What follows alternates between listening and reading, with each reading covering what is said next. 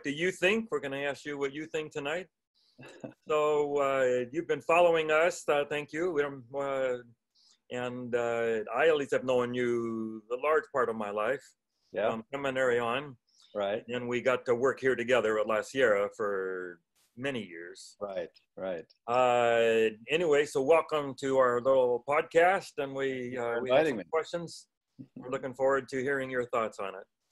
So you know Jim Brower too, I do. and uh, yeah. we're just going to have prayer and and launch in. Good. Our dear Father in heaven, we just pray that you'll be with all who are choosing to to watch this with us, to listen as three uh, older pastors, preachers, workers in the church wrestle with issues that have been uh, important to us. We love your church, we love ministry, and I just pray that you will guide us and uh, in a special way give Larry freedom as he answers the questions that we are going to put in front of him, and may the program go where where you would have us go. Bless each one as they watch. We pray in Jesus' name. Amen. Amen. I probably don't need to spend a lot of time on introduction, but I'm sure there's some people, we're, we're sending this around the world that don't know. hmm So uh, we were talking off air, grew up in China Right. uh, during the war and ended up in Beirut. Your father was president, Middle East College. Mhm. three different universities, colleges. Mhm. A great man, as you know. I, I was going Right. through my files as I'm weeding, and here were a stack of letters from your father. You remember how he would type those type those letters. Absolutely. All good except one. I, I told one joke in church, and he didn't like that. Isn't that interesting? but um, what a great man great man anyway uh, i had you a harvard harvard doctorate in archaeology. Mhm. uh, i had you at seminary teaching old testament. And then auc president. Right. la sierra president. Mhm. uh, retired from there community person fundraiser for the university now. Right. lobn president. Hmm chair of the board. Hmm what else That sounds enough to introduce me. I think. enough and just to to say um, in our years together at la sierra larry put his life into not only the university but to the to the community and uh, i was at the farewell service in the community in one of our great halls here in riverside i think there were 1200 people there as all cultures came together to to honor larry so we are honored to have you here Honor is mine to be with you. yeah.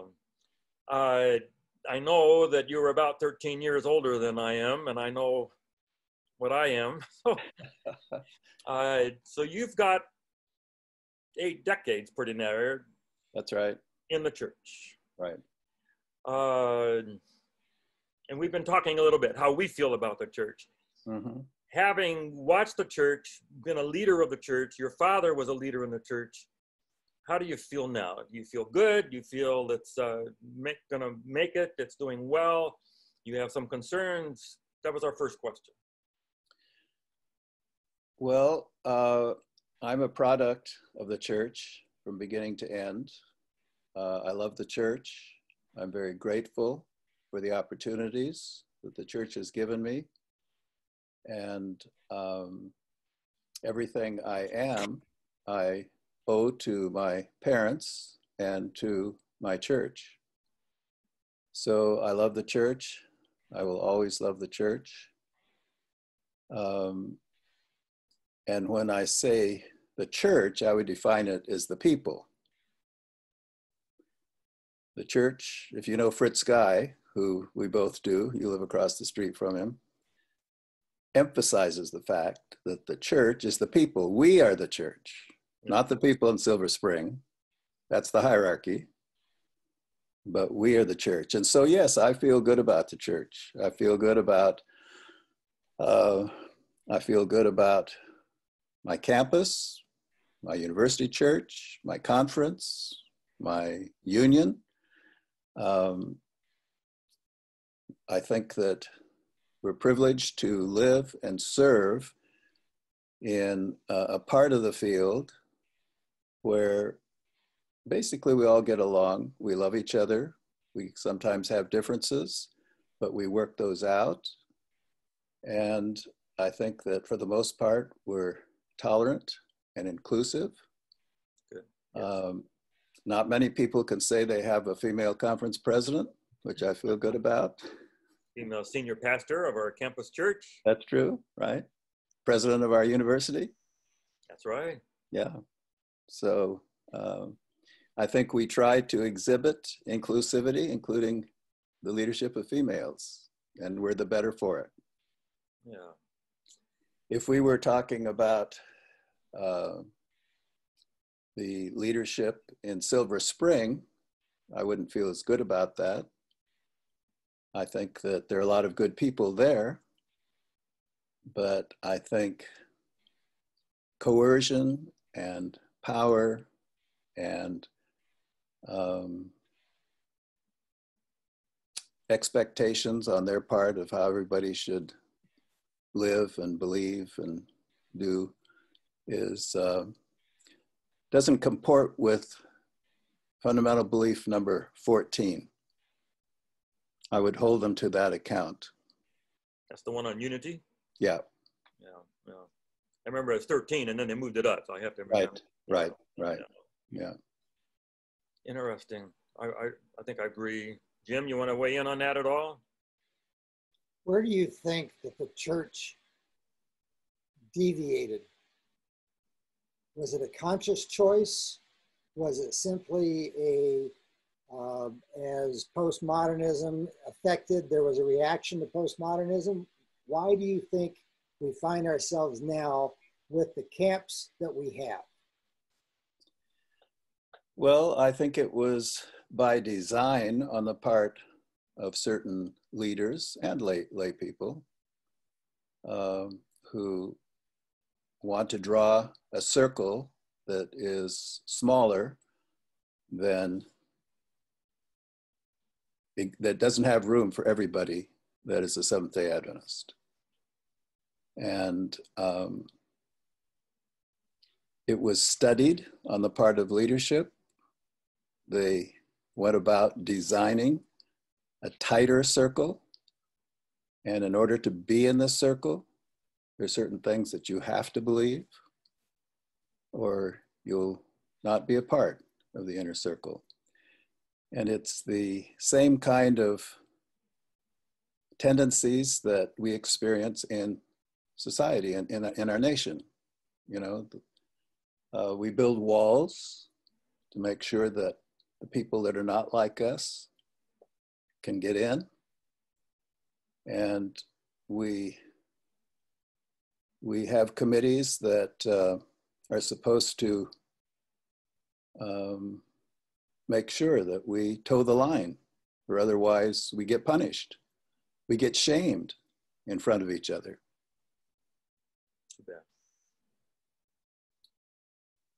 This is the story I got to tell Jim real quick we were on a bus in Jerusalem with Larry, with 48 pastors from New Zealand and here. And uh, we had a Jewish guide. Larry's our host. And, uh, you know, I knew that Larry had lived a lot of his life doing archaeology in a Palestinian Arab country.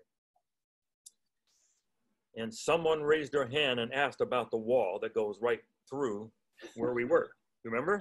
Right, to Jerusalem. Driving at night, we had nothing else to do or see but listen to this conversation, and you had the mic in front of a Jewish guide who just said how much the wall made him feel safe. Mm-hmm.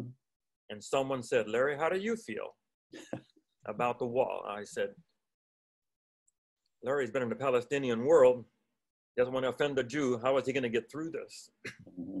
You remember? I do, I do. And what did you say? Well, I don't specifically remember, but I know how I I I, I, would answer is that uh, that while it protects the Israelis, it decimates the Palestinian society. It cuts them off from their fields, cuts them off from their uh, sources of income, and um, it uh, takes land that belongs to them and it makes them feel like second class citizens. That's it. What you said was you said some of that too, but you, what you said Yeah. was then, isn't it too bad that we have to have walls? Okay. Yeah. And this is such a wise thing because how can anyone disagree with it? yeah. Right. But we do. Right. That's why we put up the walls. Yeah. Is that we think there was a time when the uh, the British and the Afrikaners were going to put a a hedge or a moat. They were going to put a moat clear across the end of South Africa, Wow. so they could have the Cape to themselves Yeah. and have an island like England hmm down there. hmm They couldn't afford the the moat, so they put up uh, uh, bushes with thorns as far as they could, so we can be over here by ourselves. hmm Too bad. Let me let me tighten this a little bit and see. You know, when I was young, there would be these speeches by the older pastors, older people in my family, sort of decrying. You know, the church is going to fall apart when the next generation comes in because they would look at us and say, you know, how is that generation going to going to do their part? Yeah. Now we are that old generation. Right. How do you feel? Do you feel the church that we're handing off, the, the generation we're handing it off to is likely to finish the relay race of Hebrews 12? Uh, are you confident? Are you a little pessimistic? Well, again, it uh, it depends on um, on who we're talking about when we talk about the church, and and who, and what we're talking about when we talk about belief and what is expected and so on. Um, I I have to say that I admire uh, a lot of our young people today. They they are a lot less. Um, um, how should I say? Um, they're they're a lot more inclusive than we were growing up in this country. Um, you know, I I grew up when I saw signs about blacks, you know, not no no no Negroes or no coloreds, and um, I knew people back then and uh, who who were on who, who were black as well as as brown, and the the the younger generation in California at least is a lot more inclusive, and it doesn't matter to them, you know, your background, your gender, your race, your class, and so on. And so I think that's all to the good. And they are they are more they're spiritually minded, even though the standards, as we would call them growing up, are not as high, if you want to put it put them in those terms. But uh, to me, they're more Christ-like than we were growing up, even though we uh, thought we were pretty much Christ-like, but it was based on what we believed rather than what how we treated people. And if you read Matthew 25, the judgment is not based on what we believe; it's how we treat each other. Yes. And I feel that today's generation are more spiritually minded, even though they don't read the Bible as much, maybe, maybe not even pray as much, I don't know.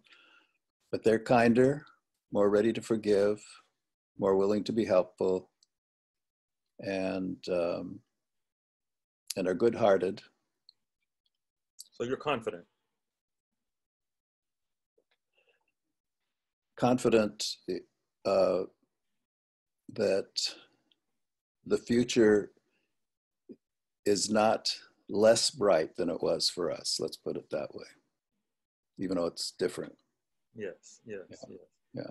Well, I keep thinking, you know, I've read John Ortberg and others. They said 2,000 years, the light's never gone out. Right, right, and uh, somehow the next generation may change it, but they find their own way to, hmm to keep the kingdom of God going. You know, hmm you know, I wonder the current behind some of what you're talking about. You and I were in the middle of women's ordination right. five years ago. you were older, and uh, I, I used to think I don't have a Harvard PhD in archaeology. This is all I know how to do. And there was a night you remember that I I just about melted down. Right. I right, was being yelled at on both sides. right.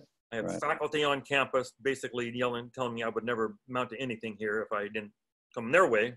hmm I had church leaders who you know, your Right. board chair, Right. yelled at me on the other side that I was going to lose my whole church and my ministry hmm for the sake of one word. Yeah. If I used the word commission, I was okay, and they would all come. If I used the word ordained, I was in trouble. Right. I'm 41, 42. I said, wow. I called you. I said, Larry, can I come up? and you can, let- Gillian got out some lemon meringue pie and we talked it through. hmm hmm Would you do it all again? I would. I, um, I think that we did the. I know we did the right thing. You know, Stand as a local church. That's, That's all right. we had. That's right. We we did what Jesus would want us to do. We were following his example. Um, he he stood up when he needed to for justice, um, and I I was encouraged by you, and I hope hopefully um, you know you were encouraged by me, and together, I think we stood for for what was right, and I think that as a result, a lot of young people are blessing the church. I I remember when you know before our that experience, I went back to Sligo for, for the ordination service there, and when my board chair found out that I was going, he forbade me to go. Wow. And I said, Tom, I've been asked to introduce my sister in law, who's going to be ordained there. And I've agreed to do that, and I'm going. And I said, You're my boss. If that means I lose my job, so be it. But I have to do what's right. And I said, I realize that you're telling me what you have to tell me so that you can tell your colleagues. I spoke to him, I counseled with him, I labored with him, and this was a decision he made and not not not mine. I said, but I can tell you that I have a whole campus full of young people who are looking at us wondering if we're going to be inclusive and let God call the people that he wants to call or are we going to make the decision, you know?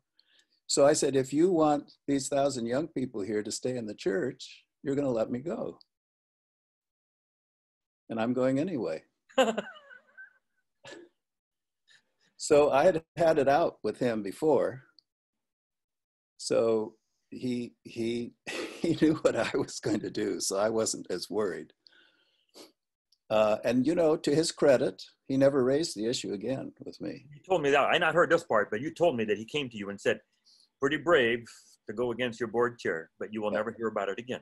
Yeah. Good for So I I I honored that. I mean, he he did what he had to do. I did what I had to do, and then we just dropped it. you know?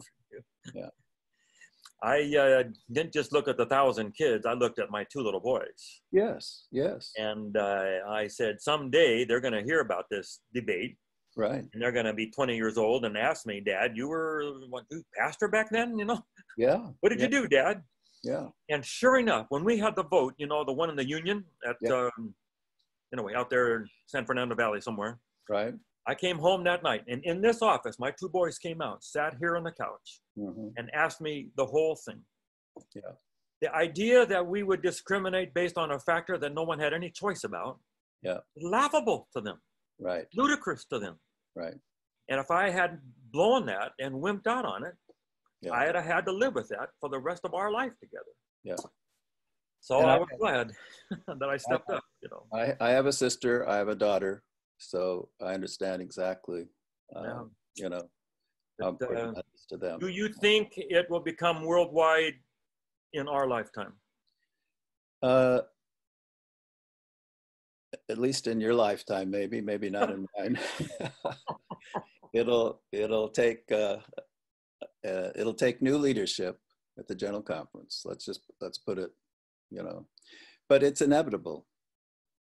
truth will win out someday, Yeah. despite the people who are laggards. You know, I find as I travel around the world, the next generation of pastors and workers, as they are exposed to the world and read more, hear more, talk more, getting better educated, right, they're moving. right. And uh, I am hearing, maybe they say that because they're in front of me, but I think it's genuine. I, I, Sure, I hear that move. Yeah. I I I heard a uh, female pastor ordained from China say that she was thankful for the political situation that does not allow the General Conference to rule over us in China. We obey the Lord instead of the GC. Good, good, good. Yes. Uh, to see if I can get a question in about about our time at La Sierra, but it has a broader implications. And Jim and I have talked about it. Uh-huh.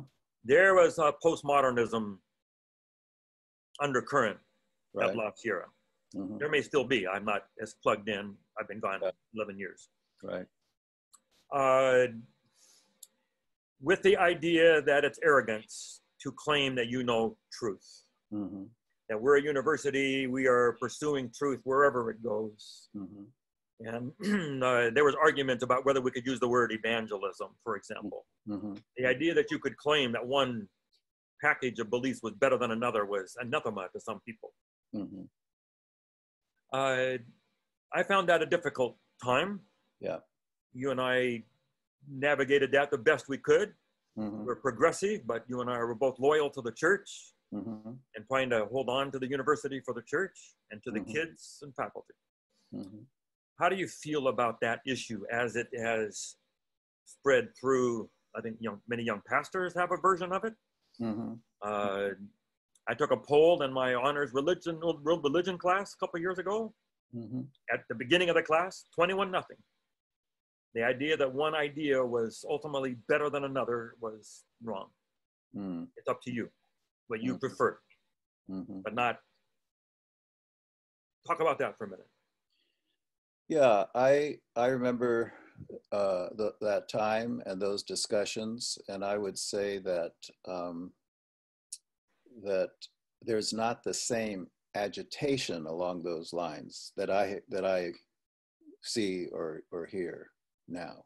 You know, I think that that um, um, most of the faculty would say that they're uh, some important beliefs that are rock solid, that um, make us an Adventist institution, um, and they're important to who we are. And if you don't feel comfortable with those, then this probably isn't the, the right place for you.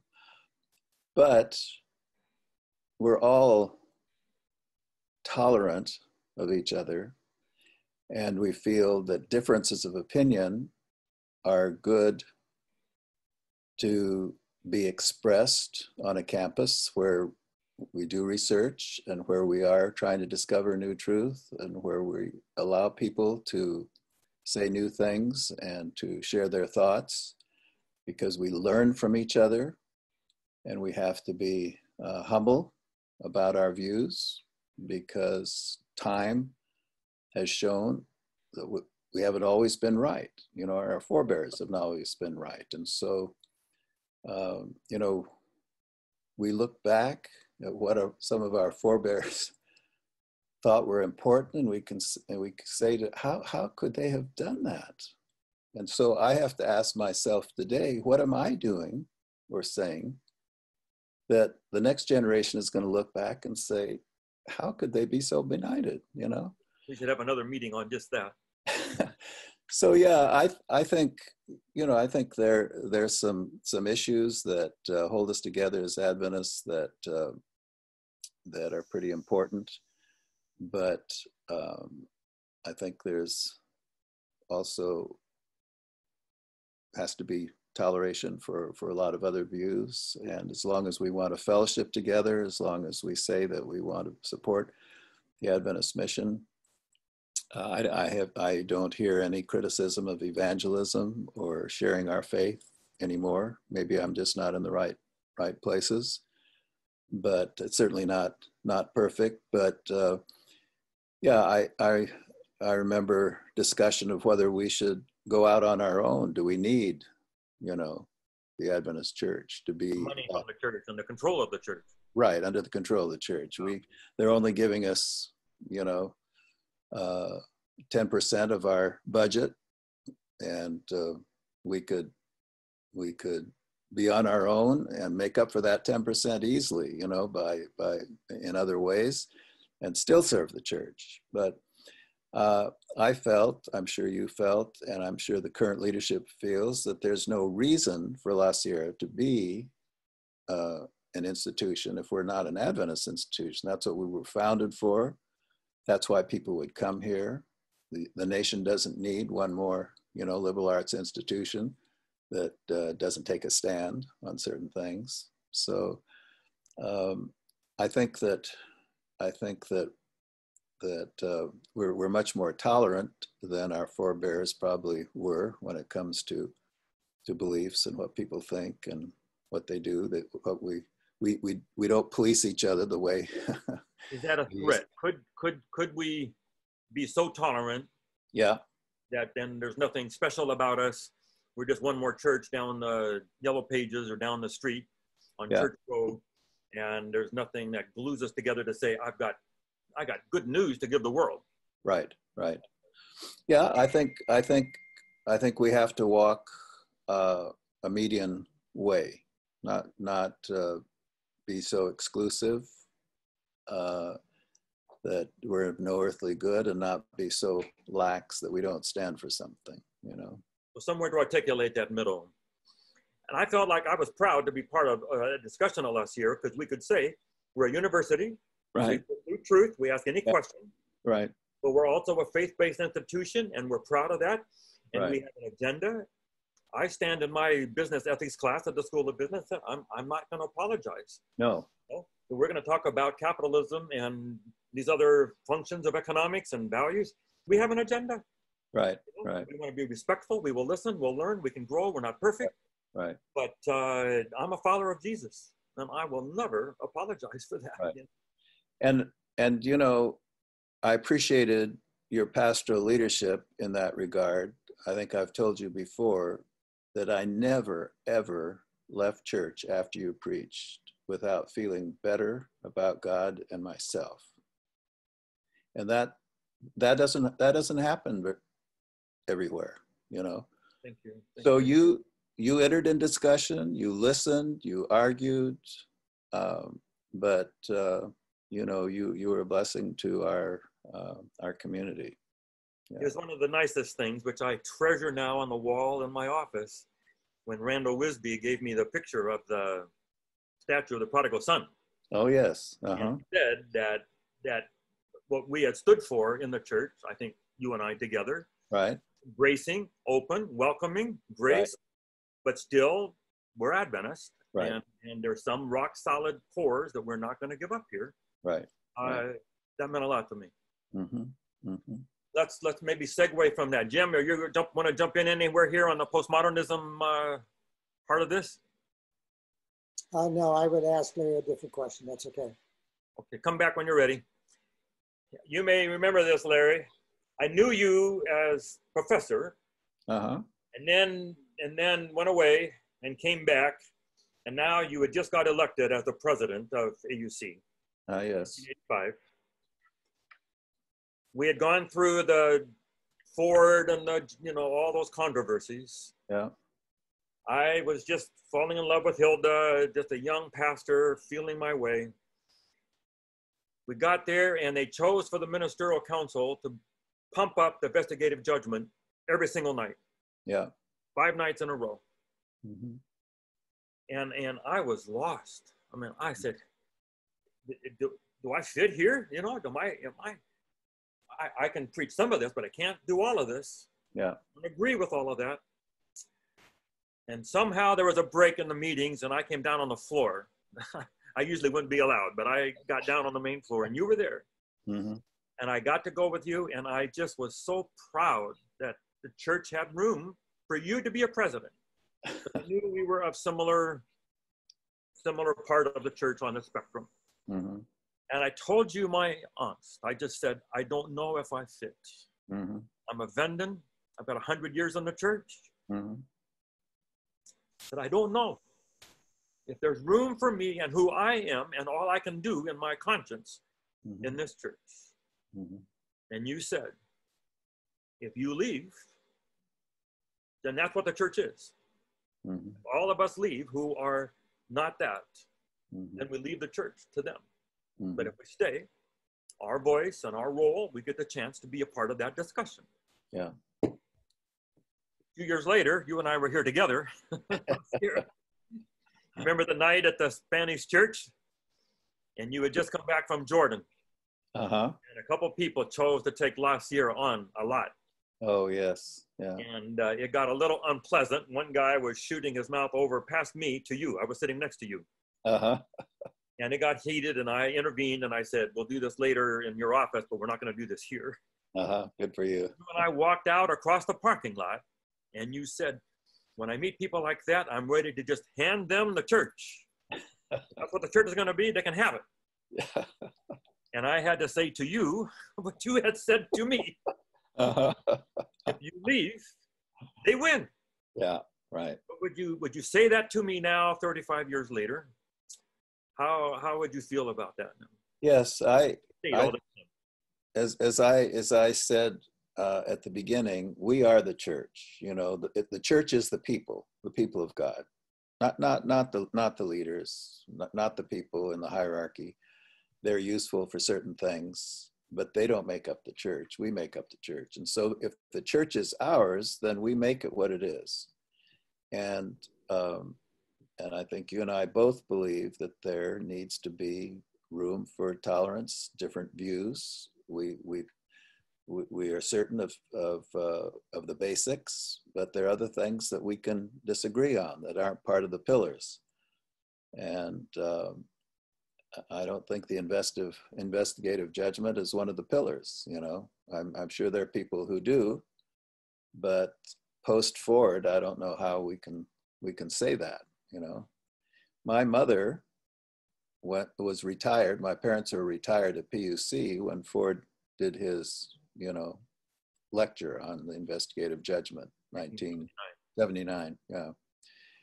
And my my parents went to his Sabbath school class every Sabbath, and my mother told me that for the first time in her life, and she was retired, she had assurance of salvation. You Wow. know, What a compliment. because she was she was worried will i will i be ready you know when the judgment falls when my name comes up. She always worried about that. And her whole generation worried about that. And and ford changed changed that for a lot of people. And and your uncle did also of course the you know maury. Morris Venden. yeah. So um so we've grown in that regard. And i i i think that the investigative judgment was something we came up with to justify what happened, you know, our disappointment. And God has uh, blessed us anyway, but it was a mistake, and we just have to say we made a mistake. You know, our forebears were were knew they had something going, and they were trying to figure it out. And so we don't need to perpetuate that mistake. We're glad for the fellowship. God um, raised us up in our disappointment, and we're doing an important work, and we have an important message for the world. It is not easy as a, an apologetic evangelist that goes all over the world preaching Right. to use that, even even if there's some truth to whatever happened there, to say you need to do this and this and this because of some event. Right. No one Right. can see that happened almost 200 years ago. Right. And, And you can't you can't explain it to make any sense. I don't, I don't know of anybody who's who's explained it well, so that it it encourages people. You know. I sat down one time at Hinsdale when the Adventist Affirm came out with 150 pages. Mm-hmm. Remember a small group there, and I can tell you Right. the name. Well, uh, so I thought I had an afternoon free. Let me plow through this, and I got to seven, page 70, deep, deep into the math and all the. Right. I said to myself, how are the people in Mongolia going to get this Yeah, in don't. order to be saved? Oh, How are the people in the villages in Thailand where I grew up and Right. go back and preach now right, going to get this and understand it? The only way they can get the assurance of it is to believe in the archaeologists and the chronologists and the genealogists who, who came up with the dates. I have no expert expertise to do any Right. of it. I have to Right. take somebody's assurance for that. right, And I just said, it may be true, but it cannot be critical right, because Right. too many people are never going to have a chance to understand this or have the capacity to be able to believe it. Yeah. Yeah. So I, I don't fight against it and I'm willing to uh, accept something hap- but um, there's, n- I don't I don't know of any Adventist preachers on the Crusades that are putting it in their series anymore. No. No, no. I think, I think, I think you, what you say is right. It may be right, but it's not critical. So let's not waste our time with it. Yeah, Jim, So uh, let me shift gears a little bit because uh, while you were teaching at the seminary, hmm what I heard from you was that you were trying to figure out a way through archaeology, et cetera, to undergird, support scripture. Hmm The question I have for you is what would you do different, knowing what has happened since hmm postmodernism Yeah. and all the trends that have tended to wipe out an awful lot of respect for scripture? right. And so I'd just be fascinated to hear what you would do differently as you tried to prepare a group of preachers to go out and preach Yeah. differently. Yeah. Well, you know, I I took all the courses at the seminary that Siegfried Horn taught because having grown up in the Middle East and actually traveled with him in the Middle East on his first trip, what you know, that his to the Holy Land. I was living in Beirut as a teenager when he came through, and he allowed me to go around with him, so it was a privilege.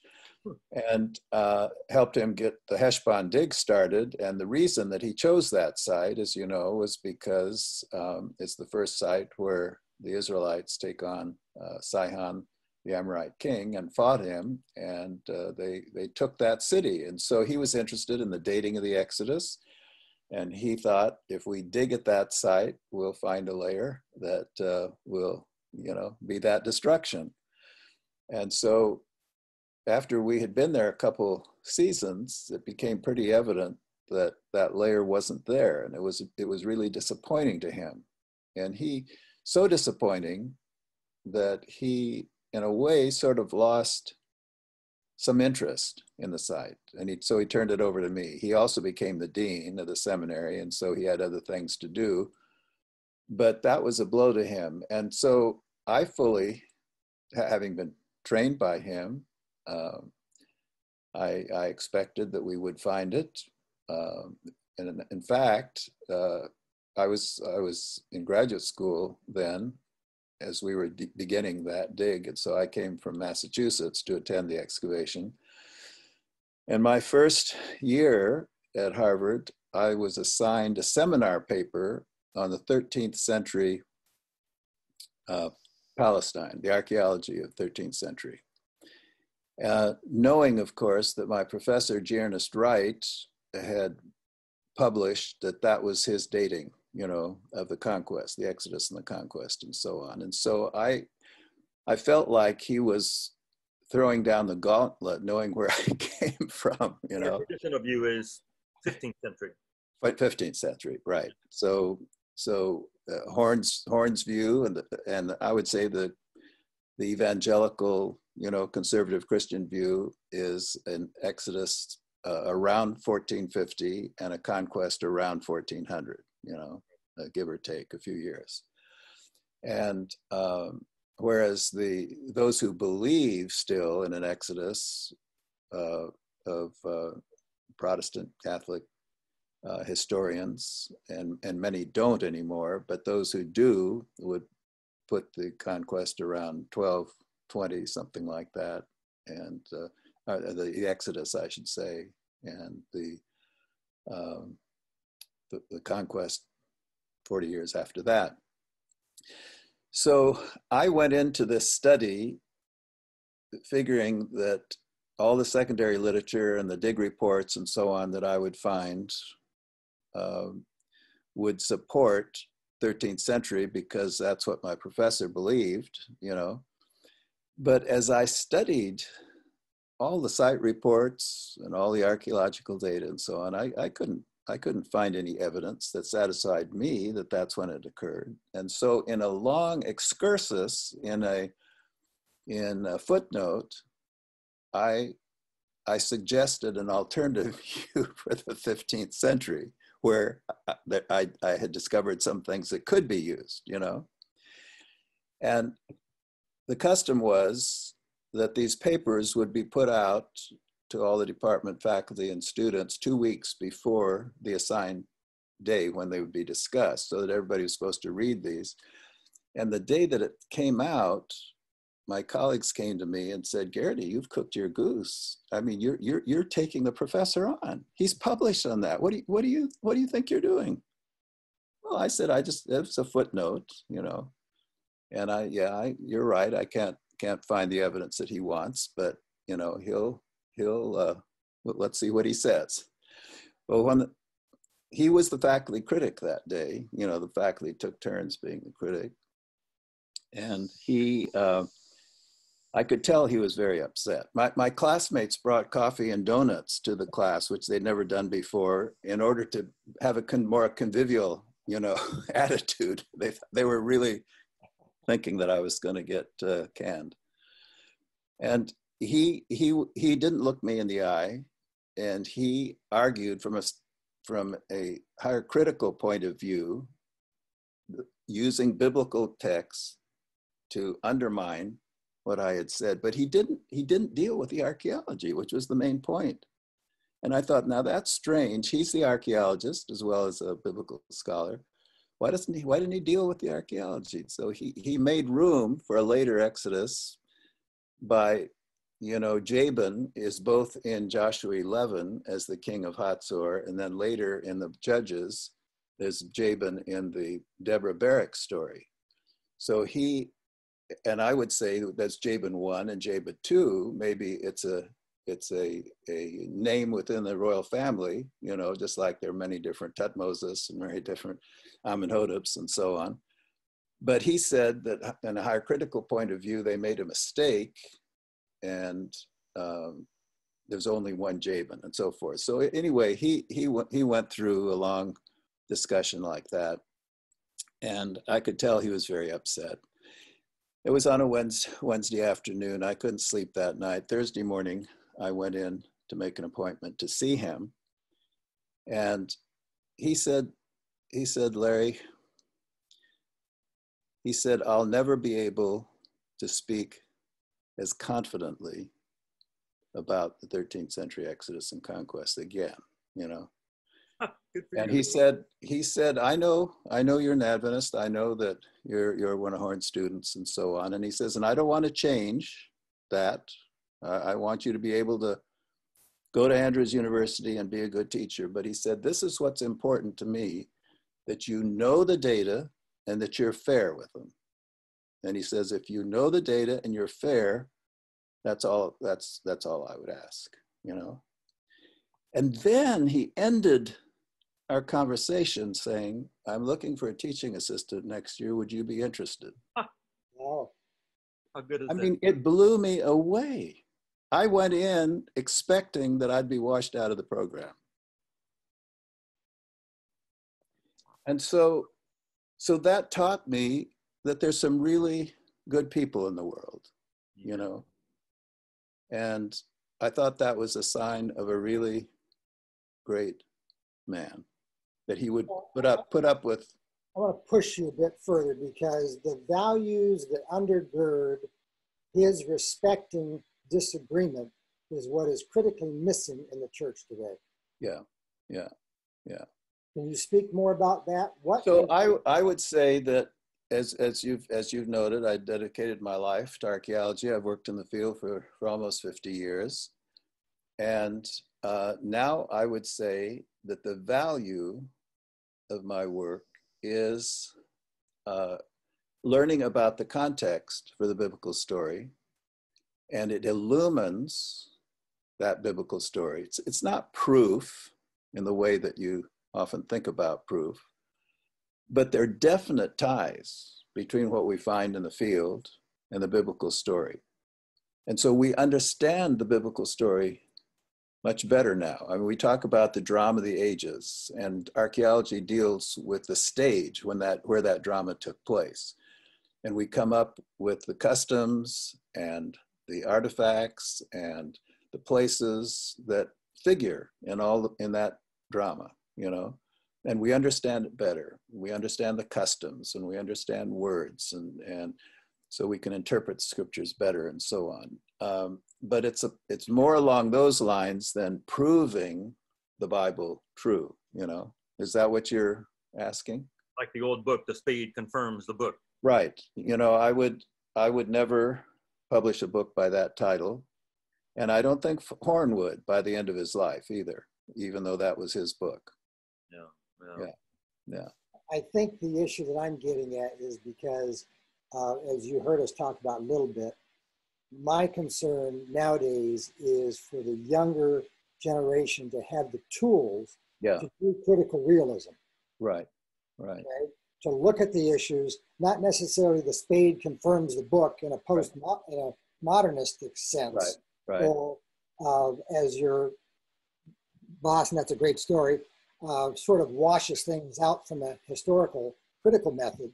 Mhm. Uh, how do we find and what are the tools by which we engage each other? We can disagree, but we also use the tools to find out what is critically real and important and can Yeah. be used. Yeah. You know, I I've I've come to think of of its of the authority of scripture. It's sort of like a, a tricycle. You've heard this before, I'm sure. The front wheel, the big wheel, is the scriptures and what they tell us. Uh, the two wheels in the back are um, are experience or tr- tradition, you could call it, and reason. And we need both of those to make sure that our tricycle is moving along the way. You know, we, we scripture is the foundation. We, we believe scripture. Uh, it's the one that guides us. It's the one we get truths. But there's some hard sayings in scripture that you, you know, you've got to use your head to sort it out. And you also look at the documents of the church and the fundamental beliefs and the other things that have come out of the experience, you know, and, and, and those help you, but it's primarily scripture that, uh, that, that guides us. But it has, it does have to have interpretation and we don't always know for sure the answers. But archaeology has helped us. This has nothing to do with our grand uh, subject here, except to say, uh, I have been with Larry to the dig place. Mhm. So Larry, Larry just, you know, just came alive and I dug this here. And we just, he talked about crawling illegally under the tunnel where you weren't supposed to be, Right, right. you know, and he showed us the rolling stone tomb that he helped uh, discover, authentic- some of that. But here's a story I like. I've told this 50 times, Larry. We were standing at the Church of the Holy Sepulchre waiting to go in, and somehow we were delayed. We had a 30, 40 minutes. Larry said, You want to go over here to the museum or whatever that center is, a couple blocks away? What's the name of that? Um, Azor or whatever that was there. uh, I'm trying to think at the entrance to the Church of the Holy Sepulchre you're Oh, no, talking we went over a couple blocks away, and it was an Oriental Research or a museum. Okay, yes, yes, yes, the Albright Institute. Yeah, right. So, Yeah. so Larry says, Dan, you want to go over there? Yeah, well, so did Sam Lenore and 10 other Yeah. people.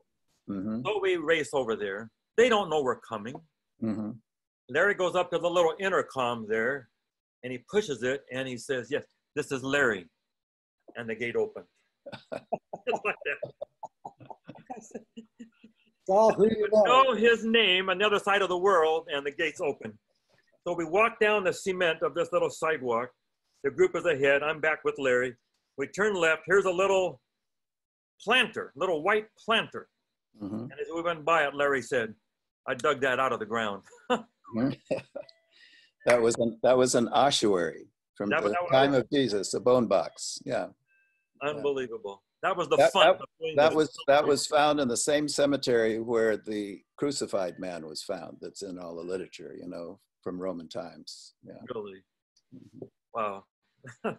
But I don't know, if I'm- I don't know. Jim, if I'm answering, if I'm getting at what you were asking or not.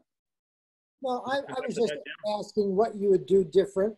That's maybe the only part that you haven't really wrestled with, and that's fine. You don't have to. Just if What- that's what something would- you consciously are aware of, that you would change this, or you would try and de-emphasize or emphasize.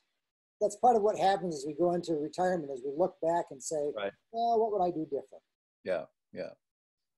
Um, I wouldn't do a lot different. You know, I I I was fortunate to have Horn as a professor.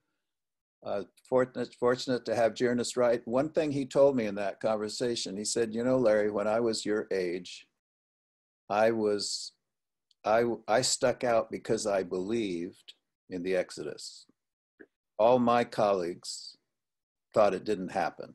They, they, they, they, they didn't believe anymore, you know, in the Bible story. And I was conservative in my day. Now he says, you're conservative in your day, you know? So he, he recognized that there's growth as you go through, through life and we do make changes and we do things, uh, new thoughts and we do some things differently. But I, I, um, I wouldn't, I wouldn't do things too differently, Jim, you know, now in terms of archaeology in the Bible. Although uh, I started out with archaeology proves the Bible, but now I think it illumines the Bible. Uh, so that maybe is a little difference. Let me, I- I know we have to come to an end here pretty quick, but this is, this is important to me. Sure. You had, we had a famous archaeologist, I won't say the name, but you, I think you'll know who it is. Yeah. And we were all invited on Friday afternoon to meet up in the ad building in a big room there. Right. And he proceeded to talk. Mm-hmm. And I read articles, and he seems to be a giant in archaeology. Mm-hmm. But he proceeded to tell us that the stories of the Exodus and all of those things. Is archaeology buried the Bible? Is that him? Yeah. You see, you see his name? William Dever. So, uh, That's me- his, that's his newest book. so I'll have to read. But as he said, you know, there's no evidence in the field for two million people heading across a desert or whatever. Right, right. So these are a few little scraggly families, clans running across the desert, you know, et cetera, et cetera. Mm-hmm. That these stories are myths that gave Israel its history and its purpose and its bond, but the historicity is not really true. Yeah. Uh, and as we walked out the door, I said, Larry, to be a smart person, do I have to believe that? and you said, I don't. Mm-hmm. Um, and maybe there are one or two stories that, that you know, are, are parables. I, I, I'm not trying to say no. But I believe Jonah and all those stories. Yeah. Is it possible to be an intellectual, honest person Yeah. and still believe in the historicity of the great miracle stories and so on of the Bible? Sure, I I think- do. Yeah, yeah, yeah. No, I mean, you know, the number of Israelites, Horn doubted that. He said it's impossible to have two or three million people in the desert do that. You know, it just it just didn't happen. And he, he would get into trouble at the seminary among among the students I know of my day. Word can be clan or thousand or something like that. Yeah, yeah. In other words, that within the Bible text itself, there are hints that bring the numbers way down. Both the way you translate the word Eleph, which means thousand, or it can mean units, military units, you know. Um, so, so linguistically, there are hints, and there's the counting of the of the of the tribes and the Israel of the the the uh, Levites when they weren't going to get their own uh, uh, you know area geographical area but they would count the heads of families and they would be made up for in a different way i mean it, it doesn't fit millions of people in, in those figures and so on so there there there are ways to handle responsibly the numbers in the Bible without having to the have general outline be true. but yes, right, right. And I just have a hard time believing that Judaism developed from something that wasn't true, you know. I mean, it's just it boggles the mind. And the and archaeology has helped us there. I mean, within the Pentateuch, there are Egyptianisms, you know. Some some group came out of Egypt. There's just, in my view, no question about that, you know. Well, otherwise, otherwise we end up our religion is is the Beauty and the Beast and Cinderella Right. That right. have meaning and purpose, and Three Little Pig. These are stories that have meaning and teaching. Yeah. Who to say? You know, it, it is our religion is rooted in its history. Yeah, it And is. Jesus rose from a grave, died and rose, and he was a real person, and this really happened. Right. Uh, anyway, That's how. That's why Judaism and Christianity are different from so many of the Eastern religions. You know, it is based on history. The, the, I've talked to people in India who, who don't care if the Ramayana is Right. Right. Right. It doesn't matter. and are comfortable with that. Yeah. Right. But our story, ours is rooted in those stories, and that it happened, Right. and that it can be repeated again at the Mhm. second coming. Right. Uh, to wrap it up, any any highlights you would say? You look at the 80 years and say, that was really good. I just want to finish with something here. What if you that was that was a special time or a special event? Well, you you know, it has been satisfying to have a career in the in the church, to be able to teach at the seminary, and then um, where I expected to be the rest of my life, but then was asked, you know, to to take on these administrative responsibilities, and that has its own uh, satisfactions where you can create a environment in which other people can succeed, you know, where young people can can find faith and where the faculty can do their work and where they can publish and so on. And so it was satisfying when I went to AUC, there were 300 students, and when I left, there was 900 students. It was a small place, but we had a really going concern, and it was successful, I believe. Um, built a, a, a new building there that uh, that they used right up until the end. And, uh, you know, I don't know if you ever knew this, but while I was at AUC, Neal Wilson came up to Boston and spent a day trying to talk me into be president of Loma Linda University. Really? And I said that I had absolutely no sense of calling for that at all. I said, you need an MD for that, not, not, not somebody with my experience. I, I said that that's a health institution, you know? And I just, I don't, and he, he really worked me over. We had lunch, he talked to me in the morning, talked to me in the afternoon. He came up from Washington DC to, to, to do this. And I said, absolutely not. And that's when he went to Lyn Behrens and which was the right, the right decision. I mean, she was an MD, she, you know, this was her world and so forth. She did a great job there. Anyway, I, two or three late years later, uh, I uh, was invited to La Sierra and um, I inherited an institution with multiple millions of dollars of debt and left it with a hundred million dollar endowment. And not me alone, all of us working together, you know. And um, the the so physically there was it was satisfying at those institutions to build those and to build up the enrollment and so on. But more in terms of service eh, as i've been going through piles of stuff in my office trying to sort like you i've come across all these letters from past students and faculty thanking me for this i've done and for that i've done and so on. And you look back and you realize that you touch a lot of lives and you've made many things possible for people, you know. And so service is what it's all about. Yeah. You want God to use you where you can make a difference, right? And as you've said, I've tried to do that in the community as well because I want the community to see the Adventists as a resource for the community. And so I did that both at AUC and here at La Sierra. And then and it hasn't hurt me professionally because as you know, for four years, I was president of the American Schools of Oriental Research, which is the pinnacle for an academic in my field to be recognized by your, your colleagues uh, in that way. So I've been blessed, and I know that it wouldn't have happened without the support and the privileges that the church has given me. So I'm very, very grateful to the church. And I've made mistakes, and I, I, I would certainly do various things differently, but overall, I'm I'm thankful and feel feel blessed and uh, very appreciative to the church. Amen. Well, having having lived through a fair amount of that with you. Oh yes, right. It, uh, has been one of the highlights of my life, and who I never thought that would come to me, but I but I got to do that, and I got to do right. it with you. Mm-hmm, mm-hmm. And I had your private line.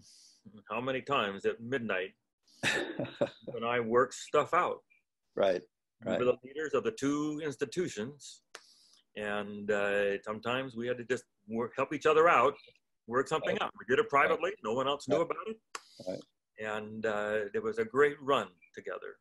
Larry. I've I've admired your devotion to duty and how hard you work to bring grace into people's lives, you know, and that's been a blessing to me.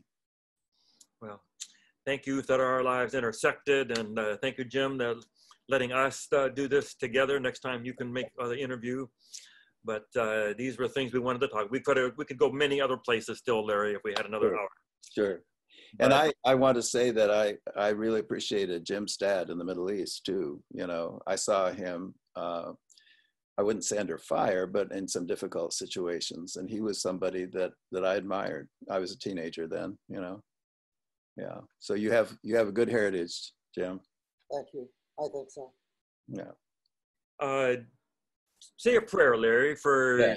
young pastors who are watching church administrators, friends of ours around the world, and just pray for the church, the leaders who are out there who are so far I've been writing us little notes, saying, thanking us for it. Good. And I'll say a prayer for them. Good. Well, God, uh, this evening we uh, pause before we conclude this discussion to thank you for your leadership in the church and in its institutions and in its organizations. I thank you particularly for, uh, for uh, these two uh, uh, pastors, um, what they have done in their lives and in their ministries, and uh, the way they have reached out so many people uh, around the world. I pray that you will continue to give them success with this venture that they have taken on and the other things that they are doing.